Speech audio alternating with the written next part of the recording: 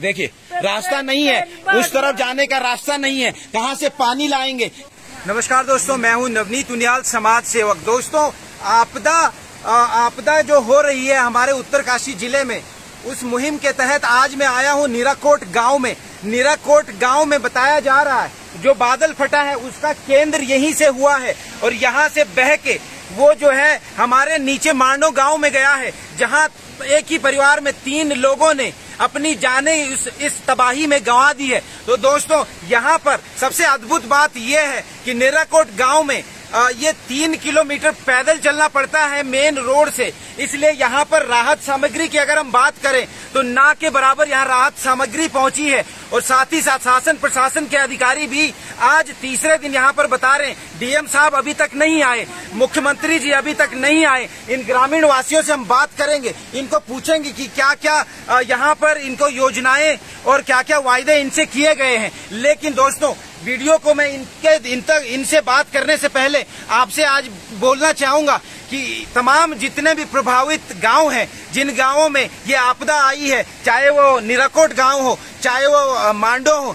चाहे वो कंकराड़ी गाँव हो, और भी जो आपदा आपदा जिन गाँवों में आई है, उन गाँवों के लिए आज इस वीडियो के माध्यम से मैं फंड रेज करना चाहता हूँ। डोनेशन आप लोगों ने देना है। लगभग 20 लाख का मेरा लक्ष्य है। एक भाई बीस रूपए, तीस रूपए भी देगा और दो लाख लोगों तक आपको ये वीडियो शेयर करनी है। तभी हम इन ग्रामीण वासियों की मदद कर पाएँगे जल्द से जल्द धरातल पर हम इनकी मदद करना चाहते हैं दोस्तों, क्योंकि शासन प्रशासन की प्रक्रिया आप जानते हैं कि आज वो, आज बोलेंगे, कल कुछ होगा, महीने लग जाते हैं और ग्रामीणों को उचित व्यवस्थाएँ समय पर नहीं मिल पाती है। अगर मैं तबाही का मंजर आपको दिखाऊँगा तो ये देख लीजिए किस तरह से ये जो बादल फटा है, उसने सारे गाँव की खेती, खलियान, कुछ मकान भी बहे हैं। बहुत नुकसान यहाँ गाँव वालों का हो गया है।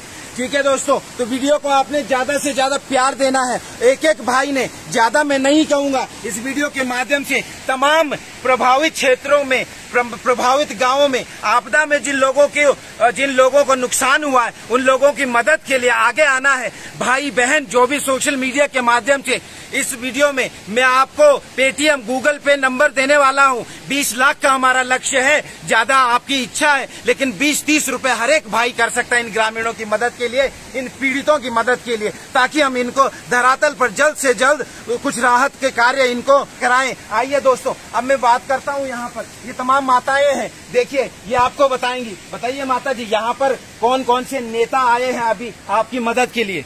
हाँ। कोई भी नेता नहीं आया है तीसरे दिन तो दूसरे दिन तो वो आए क्षेत्र क्षेत्र पटवारी होते हैं वो आए हैं तीसरे दिन कल सजवान जी आए थे हाँ।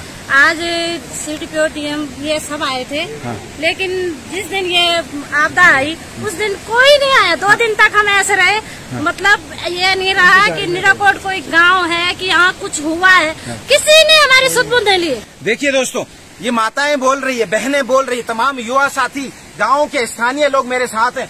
सबसे विचित्र बात तो ये है, आज तक इस गाँव की गिनती सिर्फ़ वोट के लिए की जाती है। दूसरी बात मैं आपको बताता हूँ, ये गाँव अगर आप देखेंगे, इस तरफ़ बड़ी बड़ी जो नदी है, जहाँ बादल फटा, इस तरफ़ नाला है, इस दूसरी तरफ़ दूसरी नदी है तो ये ऐसे दोनों तरफ़ से फंसा हुआ गाँव है। इस गाँव को जल्द से जल्द विस्थापित करवाना चाहिए प्रशासन को। प्रशासनिक अधिकारी, ये मुस्तिक सौड़ बाड़ागढ़ी का क्षेत्र है। अधिकारी लोग जब आते हैं यहाँ पर तो ये चीज़ क्यों नहीं देखते? आखिर जब गाँव के लोग यहाँ रह रहे हैं तो उनको उनको भगवान के भरोसे छोड़ के रखा हुआ। देखिये हम लोग इंसान है, कोई जानवर नहीं है जो हमें आपदा यहाँ पर लगातार पहाड़ों में बारिश हो रही है। अभी भी मौसम देख लीजिए, मौसम लगातार बारिश वाला हो रहा है। देखिए, कभी भी कुछ भी हो सकता है तो कोई जानवर हम लोग है नहीं। हम लोगों के लिए कोई टेंट हो, कोई बचाव कार्य शीघ्र से शीघ्र पहुँचे। आपदा आती है, न्यूज़ हमें देखने को मिलती है, तुरंत हमें बचाव कार्य के लिए आना चाहिए। आगे इंसानियत को अगर ज़िंदा रखना है तो इन लोगों की मदद करनी है। आप लोग असली भगवान हो दोस्तों। आप लोग बीस बीस तीस तीस रूपए इस वीडियो के माध्यम से तमाम गाँव वालों की हम लोग मदद करेंगे। और बीस लाख का जो लक्ष्य है, उसको पूरा करिए। आइए इन भाइयों से बात करते हैं। देखिए जब सजवान जी यहाँ पर आए थे तो क्या कोई योजना अपने निजी जेब से उन्होंने कुछ किया यहाँ पर ग्रामीणों के लिए? कोई नहीं उन्होंने ये क्या कि हम आगे ये करी कोशिश करेंगे आगे कोशिश करेंगे बात। करेंगे हाँ। का हाँ। पटवारी आया उसने खाली भ्रमण किया हाँ। देखिए क्या पता क्या देखा उसने। भगवान ही मालिक है हाँ। यहाँ से कोई भी ये जो आपदा आई है दूसरी बार आई एक बार बहुत पहले आई थी। एक बार पहले आई दूसरी बार। उसमें मांडू भी तबाही उसी समय हुई। ये दूसरी बार आई पर प्रशासन को कोई इसकी सूझ नहीं हाँ। ये गाँव खतरे में है हाँ। ऐसा कोई नहीं सुना और सर, सर फोकस जो सब मांडू जा रहे सब नेता लोग वही प्रशासन सारा मांडू है यहाँ कोई नहीं आया। यहाँ पर लोग यहाँ पर लोग आने से डरते हैं। और यहाँ पर हमारे नेतागण आते भी तो लट्ठी पकड़ के आ रहे हैं। जिनको खुद लट्ठी का सहारा है वो हमारा क्या भला करेंगे? आने वाले 2022 में आप लोग जनता उनको आईना दिखाएगी। चलिए यहाँ पर तमाम हमारे भाई लोग यहाँ पर खड़े हैं। देखिए आप प्रशासन जब यहाँ पर आ रहा है तो आपको क्या उम्मीद है कि कब तक प्रशासन आपकी कुछ मदद करेगा? भगवान जाने मदद करेगा हमारे तक कोई मदद अभी तक पहुँची नहीं है हाँ। कोई सेवा नहीं है कोई हाँ। नहीं है हाँ। हमारे सारे रास्ते बंद है हाँ। सारे घोड़े कच्चर भूखे अंदर मर रहे हैं हाँ। उनके लिए रास्ता बाहर जाने के लिए नहीं है भूखा चावल खा से कुछ लाना उनके लिए हाँ। सब अंदर पड़े हुए हैं हाँ। कोई रास्ता नहीं बना रहा कि उनको बाहर निकाले हाँ। रोड पे भेजे हाँ सब घर ही में रखे हुए हैं हाँ ये देखिए दोस्तों एक एक ग्रामीण वासी किस तरह परेशान है? पूरे देश भर में मैं रिक्वेस्ट करता हूँ, आप लोगों से आग्रह करना चाहूँगा, इन लोगों की मदद कीजिए, आपदा पीड़ित लोगों के लिए भगवान बनिए। आपको बहुत पुण्य का काम है बीस तीस रुपए से कुछ नहीं होगा। इन लोगों के लिए हमें तमाम दो तीन गाँव जहाँ भी नुकसान हुआ है, हमने बीस लाख रुपए रेज करने हैं। बीस लाख रुपए का फंड हमने तैयार करना है, फिर तमाम ग्राम वासियों को हमने देना है, दोस्तों। आगे भी मैं आपको दिखाता हूँ की यहाँ पर और क्या क्षति हुई। पानी की, इनकी पानी की जो पीने की व्यवस्था थी पेयजल व्यवस्था ठप हो गई। इनका पानी का मूल था जहाँ से पानी आता है। पानी पी रहे सर पानी यहाँ देखिए ये देखिए दोस्तों ये देखिए। मिट्टी वाला पानी पी रहे हैं। यहाँ पर पानी की पेयजल योजना इनकी ठप हो गई। अब न जाने प्रशासन कब सुध लेगा और कब इनको सही पानी मुहैया कराएगा कब योजनाएँ आएगी। तमाम ये प्रशासन को आ, प्रशासन भी सो रहा है। दूसरी तरफ़ मैं आपको दिखाने वाला हूँ मकान किस तरह से लोगों के खतरे में है दोस्तों। चलिए आइए दोस्तों, ये देखिए मेरे पीछे, आप देख रहे होंगे ये मकान किस तरह से ध्वस्त हो गया। देखिए, ये कमरा, इसकी हालत देखिए। यहाँ, इसके बगल में यहाँ इनका बाथरूम था, बाथरूम बह के चला गया, ठीक है। और अंदर इनकी एक चक्की है इस कमरे में, वो भी बाल बाल बची है। लेकिन यहाँ देख लीजिए दोस्तों, इसकी हालत, इसकी सुरक्षा वाल की ज़िम्मेदारी आखिर है किसकी? प्रशासन, नेता, क्या सब झूठ बोलेंगे, जुमले देंगे और वायदे पे वायदे करेंगे। इस खेत इस खेत की हालत देखिए। इनकी क्यारी है यहाँ पर। यहाँ देखिए यहाँ देखिए घर की हालत। घर किस तरह से एकदम से दहशत में घर के लोग बता रहे हैं। कि जैसे ही, जब से ये आपदा आई है, तब से ये लोग रात को सोने के लिए मंदिर के प्रांगण में जाते हैं, किस तरह से अपना बचाव कर रहे हैं। लेकिन शासन प्रशासन, कोई मीडिया भी यहाँ पर अभी तक ढंग पहुँचा नहीं है। मीडिया को कवर करना था। मीडिया भी सिर्फ़ वहीं रोड साइड जो गाँव है, वहीं जाता है। लेकिन यहाँ तीन किलोमीटर चढ़ाई पर चढ़कर इस तरह की मेहनत कोई नहीं करना चाहता है। इन लोगों से सिर्फ़ लोगों को वोट चाहिए। और 2022 में सिर्फ़ आप दिखेंगे अब दिखेंगे इनके गाँव में। और दारू बांटने की जहाँ बात आती है, वहाँ दारू बांटते समय हमारे नेता आ जाते हैं। दारू बांटेंगे गाँव में। बाकी लेकिन लोगों के विकास के लिए एक रुपया नहीं है उनके पास। ये लोग ये लोग सत्ता में रह चुके हैं, लोग हैं, फिर भी इन्होंने धरातल पर आकर के, जहाँ इंस्टेंट हेल्प होनी चाहिए, तुरंत मदद होनी चाहिए, वो मदद नहीं करते हैं ये लोग। तो आइए ऐसे नेताओं को, ऐसी निम्नीकरण की राजनीति करने वालों को, तुच्छीकरण की राजनीति करने वालों को सबक सिखाएँ दोस्तों। क्योंकि अगर हमारा उत्तरकाशी जिला क्योंकि देखिए, ये मुस्टिक शोर का पूरा एरिया, पूरा जो एरिया है, भूस्खलन वाला क्षेत्र है। मैं लगातार गाँव गाँव में जाता हूँ। चाहे आपका मस्ताड़ी हो, चाहे मुस्टिक सौड़ का कंकराड़ी हो, चाहे ये गाँव निरखोट हूँ, और भी मैं अभी नीचे जाने वाला हूँ, जहाँ लोगों ने जाने गंवाई है। सारे गाँव गाँव के भ्रमण पे हूँ। तो मुझे याद आता है, बीस साल हो गए हमारे उत्तराखंड को अलग हुए हुए। लेकिन यहाँ पर अभी भी पीने के पानी के लिए लोग तरसते हैं। इससे ज़्यादा और क्या बोले? इससे ज़्यादा विकास पुरुष हमारे और क्या कर सकते हैं? आप ये खुद डिसाइड कीजिए दोस्तों। तो आइए, मैं आगे और भी ग्रामीण वासियों से यहाँ पर जो रहती हैं माताएँ इन्हें देखिए, माता की बात सुनिए। ये कितनी भावुक हो रही है, कितने डर डर के अपना एक एक मिनट गुजार रही है माता। बोलिए माता जी देखिए देखिए रास्ता नहीं है। उस तरफ़ जाने का रास्ता नहीं है। कहाँ से पानी लाएँगे? कहाँ से घर की सामग्री लाएँगे? रास्ता खत्म हो गया। ये फंस गए हैं दोस्तों। यहाँ रास्ता नहीं है उस तरफ़ जाने का। ये तबाही का मंजर है। लेकिन हमारे जो नेतागण हैं जहाँ तुरंत राहत मिलनी चाहिए थे चाहे हेलीकॉप्टर में आना चाहिए था चाहे हमारे मुख्यमंत्री हो चाहे हमारे विधायक जी हो चाहे तमाम पार्टी चाहे वो भाजपा कांग्रेस कोई भी पार्टी के नेता हो सिर्फ़ वोट के लिए लोगों का उपयोग ना करें लोगों की मदद करें तो हमें लगेगा कि हाँ ये सच में समाज के सेवक हैं। यहाँ देखिए, माता किस तरह से परेशान है। पानी कौन भर के देगा इनके घर में? खाने पीने की सामग्री कौन लाएगा इनके घर में? यहाँ तो सिर्फ़ फ़ोटो खिंचवानी है। यहाँ तो सिर्फ़ सेल्फी कॉन्टेस्ट चल रही है। फ़ोटो दिखाएँगे। हम तो हम तो फ़ोटो खिंचवा करके यह गाँव में गए। वो गाँव में आए। मैंने देखा बहुत सारे लोगों को। ये सरासर गलत है दोस्तों। आइए, और भी मैं आपको दिखाने वाला हूँ। गाँव वालों से बात करने वाला हूँ। और क्या क्या समस्याएँ इनकी है अपने बच्चों को अपने पति कहाँ रहेंगे हम लोग। हमारा तो कहीं छप्पर रहने का तक ठिकाना नहीं। जो कुछ था यही था सब कुछ। कहाँ जाए हम लोग? मेरी सभी से यही है कि आप हमें कहीं आसिया न दे हमारी व्यवस्था करें और हमें सुरक्षित जगह पर कहीं रखें। यही मेरी विनती है। मैं सबसे हाथ जोड़ के यही प्रार्थना करती हूँ कि आप कृपा मुझ पे ये कृपा करें कि मैं कहीं सेफ़ जगह पे रहूँ कहीं मेरे परिवार रहने का ठिकाना हो। मैं मैं शासन से यही उम्मीद करती हूँ कि आप हमें सुरक्षित जगह ले जाएँ और हमारा आसन बना के दें।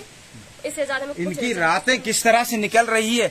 बच्चे इनके साथ में रहते हैं। आप सोच लीजिए एक एक व्यक्ति जब इस तरह दहशत में रह रहा किस तरह से एक एक मिनट उसका निकल रहा होगा? और ऐसी है कि ये देखो पहाड़ों में बरसात का मौसम अभी चल ही रहा। ऐसी बात नहीं कि बरसात रुक गई है लेकिन बरसात अभी भी लगातार मौसम बना हुआ है। तेज बरसात होती है तो इन घरों का क्या होगा? इन लोगों का क्या होगा? तमाम ग्रामवासियों का क्या होगा? ये भगवान जाने। दोस्तों, मैं आपको एक बात बताना चाहता हूँ। सवाल मैं इसलिए पूछ रहा हूँ डायरेक्ट सवाल मैं नेताओं से इसलिए पूछ रहा हूँ, क्योंकि हमने वोट दिया विकास के नाम पर। विकास बोला इन्होंने कि विकास करेंगे। ये आज हमारे गाँव की हालत है। 20 साल हो गए 10 साल भाजपा 10 साल कांग्रेस, लेकिन आज गाँव में पीने का पानी नहीं है। तमाम रिपोर्ट जो मैं बनाता हूँ, तमाम वीडियोस जो मैं आपको सोशल मीडिया के माध्यम से दिखाता हूँ, और ये सोशल मीडिया के माध्यम से मैं देश विदेश में हमारे रहने वाले उत्तराखंड के भाई बहन देवभूमि से प्यार करने वाले लोगों तक पहुंचाना चाहता हूँ कि आपके देश में, आपके क्षेत्र में, आपके गाँव में किस तरह की ज़िंदगी यहाँ पर एक एक ग्रामीण वासी, स्थानीय वासी काट रहा है, ये आपको इसीलिए मैं वीडियो लगातार सवाल पूछता हूँ हमारे नेताओं से और ये आगे भी पूछते रहूँगा। दोस्तों, तमाम माताएँ, बहनें मेरे पीछे खड़ी है। इनकी सरकारों से मांग है, नेताओं से मांग है। जी बताइए, आप बताइए कि आपकी क्या रिक्वेस्ट है सरकार से? सर रिक्वेस्ट तो हमारी है कि सबसे पहले हमें रास्ते चाहिए। जो हमारे पूरे रास्ते डैमेज हो चुके हैं और हमारे हमें आने जाने में बहुत परेशानियाँ हो रही है। जी। क्योंकि इस गाँव में तो आप लोग देख ही रहे होंगे कि कितनी तबाही मच रखी है। हाँ।